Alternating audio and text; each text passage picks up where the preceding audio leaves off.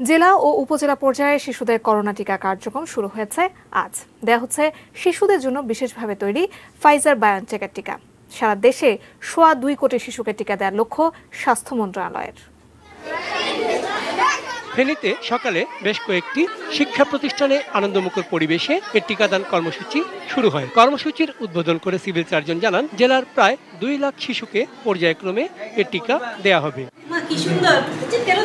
নীলপামারী সরকারি প্রাথমিক বিদ্যালয় কেন্দ্রে শিক্ষার্থীদের মাঝে প্রথম ডোজ টিকা দিয়ে জেলায় কর্মসূচির উদ্বোধন করেন জেলা প্রশাসক।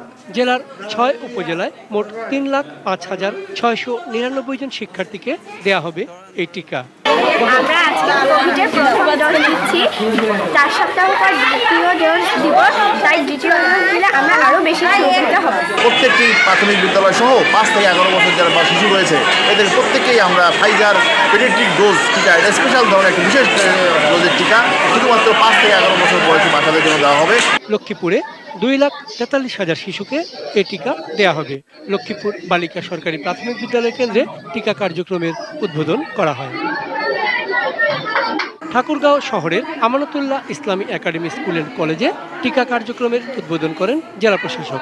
জেলার পাঁচ উপজেলায় দুই লাখ আট হাজার শিশু শিক্ষার্থীকে টিকা দেওয়া হবে। খাগড়াছড়ির সিভিল সার্জন জানান জেলার নয়টি উপজেলার সকল প্রাথমিক বিদ্যালয় ও বিভিন্ন ধর্মীয় শিক্ষা প্রতিষ্ঠানের নব্বই হাজার পাঁচশত চুরানব্বই জন শিক্ষার্থী ও কমিউনিটি বেসড পাঁচ হাজার তিনশো উনসত্তর জন শিশুকে টিকা দেওয়া হবে। আমি আমার বাচ্চাকে স্বাচ্ছন্দ্যে নিয়ে আসছি হাসতে হাসতে সে টিকা দিবে। এখন টিকা পাওয়ার পর অনেকটা সে আমি নিশ্চিন্ত হব।